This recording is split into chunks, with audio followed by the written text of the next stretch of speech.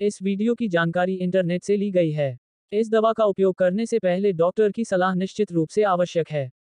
इस वीडियो को देखने के बाद यदि आप किसी भी दवा का उपयोग करते हैं तो हम किसी भी दुष्प्रभाव के लिए जिम्मेदार नहीं हैं। केकोर पाँच टैबलेट खाने के साथ या बिना खाना खाए भी लिया जा सकता है। इसे पानी के साथ पूरा निगला जाना चाहिए। इस दवा को नियमित रूप से और प्रत्येक दिन लगभग एक ही समय पर लें।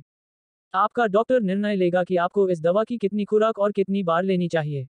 यह कितने अच्छे तरीके से काम कर रहा है, इस आधार पर यह समय समय पर बदल सकता है। हमारे डॉक्टर से बात किए बिना इसे लेना बंद न करें क्योंकि अचानक विद्रोल से आपके सीने में दर्द दोबारा शुरू हो सकता है।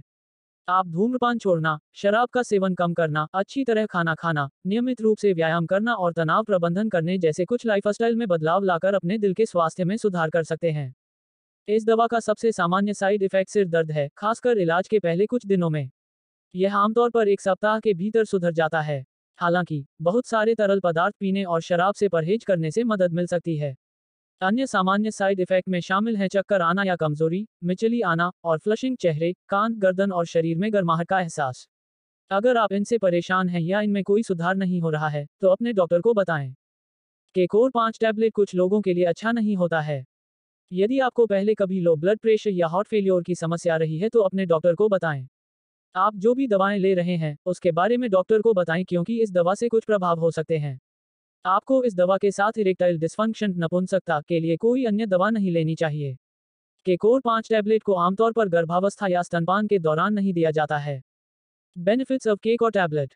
Treatment of angina, heart related chest pain. केकोर पाँच टैबलेट सीने के दर्द एंजाइना की रोकथाम के साथ साथ इलाज में भी मदद करता है। एंजाइना एक प्रकार का सीने का दर्द है जो आमतौर पर रक्त वाहिकाओं के संकुचन से होता है जो आपके दिल को रक्त की आपूर्ति करता है। इसका मतलब है कि आपके हृदय को पर्याप्त ऑक्सीजन नहीं मिलती है। केकोर पाँच टैबलेट रक्त वाहिकाओं को आराम देता है और इन्हें चौड़ा करता है ताकि आपके हृदय तक अधिक रक्त और ऑक्सीजन पहुँचे।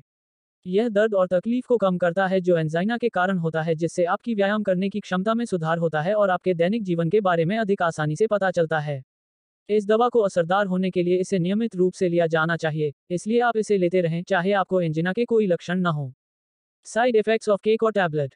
इस दवा से होने वाले अधिकांश साइड इफ़ेक्ट में डॉक्टर की सलाह लेने की ज़रूरत नहीं पड़ती है और नियमित रूप से दवा का सेवन करने से साइड इफ़ेक्ट अपने आप समाप्त हो जाते हैं। अगर साइड इफ़ेक्ट बने रहते हैं या लक्षण बिगड़ने लगते हैं तो अपने डॉक्टर से सलाह लें। केकोर के सामान्य साइड इफ़ेक्ट। सिर दर्द, मिचली आना, उल्टी, कमज़ोरी, चक्कर आना, फ्लशिंग चेहरे कान, गर्दन और शरीर में गर्मी महसूस होना। हाउ टू यूज़ केको टैबलेट इस दवा की खुराक और अनुपान की अवधि के लिए अपने डॉक्टर से सलाह लें। इसे साबुत निगल लें, इसे चबाएँ, कुचलें या तोड़ें नहीं। केकोर पाँच टैबलेट को खाने के साथ या भूखे पेट भी ले सकते हैं, लेकिन बेहतर यह होगा कि इसे एक तय समय पर लिया जाए। वीडियो को पूरा देखने के लिए आपका बहुत बहुत धन्यवाद।